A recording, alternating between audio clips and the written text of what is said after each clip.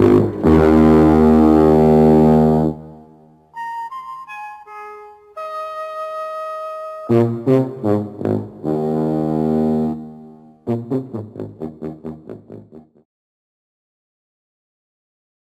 quite dark yet, but I wanted to show a demo of the light pattern. So basically it's just test patterns right now. Uh, this is a red, green, blue.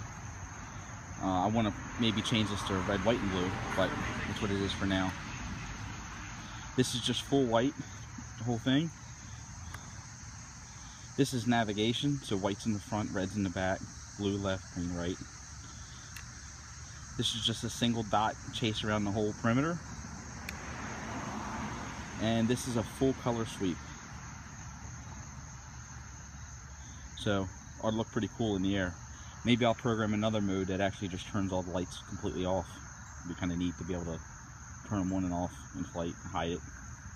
So, there you go.